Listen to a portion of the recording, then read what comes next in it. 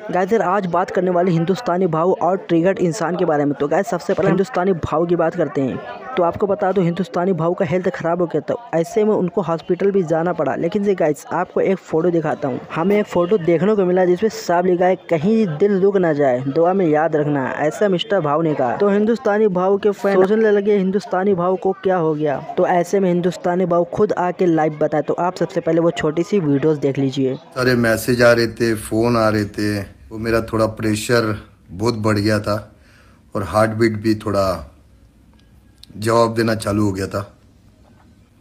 मगर आप सबकी दुआ से अभी एकदम बढ़िया हूँ।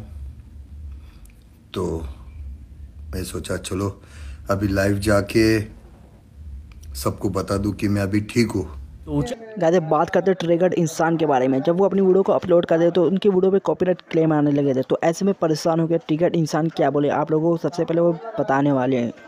ये जी टी वी एंड सारे वाले पीछे पड़ गए हैं। आठ से ज़्यादा वीडियो पे कॉपीराइट मार चुके हैं। लास्ट एक हफ़्ते में रिसेंट वाली पे भी मार दिए वीडियो लिंक देख के थोड़ी रीच बढ़ाओ। ऐसा ट्रिगर्ड इंसान बोले तो गैस आप क्या कहना चाहेंगे? कमेंट सेक्शन में ज़रूर बताना। वीडियो चले वीडियो को लाइक कर देना। एंड चैनल पे हो तो सब्सक्राइब कर लेना। मिलते किसी न्यू वीडियो के साथ। तब तक के लिए बाय